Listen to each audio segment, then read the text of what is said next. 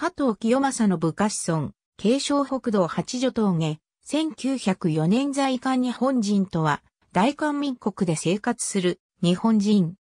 日本統治時代には多数の日本人が朝鮮半島に移り住んだが、太平洋戦争の敗戦に伴い、そのほとんどが日本へと引き上げていった。残留した日本人、または日系人は在日韓国、朝鮮人に比べて極めて少ない。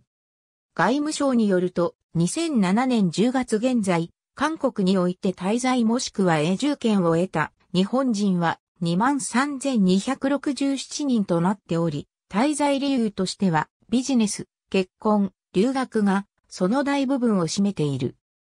K-POP や韓国ドラマなどの韓流ブームにより、韓国への移住を憧れたり、韓国人男性との国際結婚を夢見る若い日本人女性も少なからず存在し、韓国に永住権を持つ、もしくは長期滞在する日本人は男性より女性が大幅に上回っており、2016年10月時点で13,500人に及ぶ。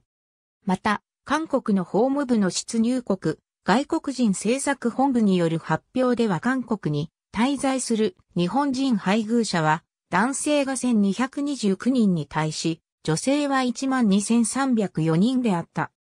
ただし、すべての国に共通して言えることだが、韓国でも DV は多く、韓国における外国人妻の半数が DV 被害に受けていると台湾メディアは報道しており、日本人妻もその例外ではないため、韓国ドラマで描かれる男性のイメージを真に受けてはいけないという意見もある。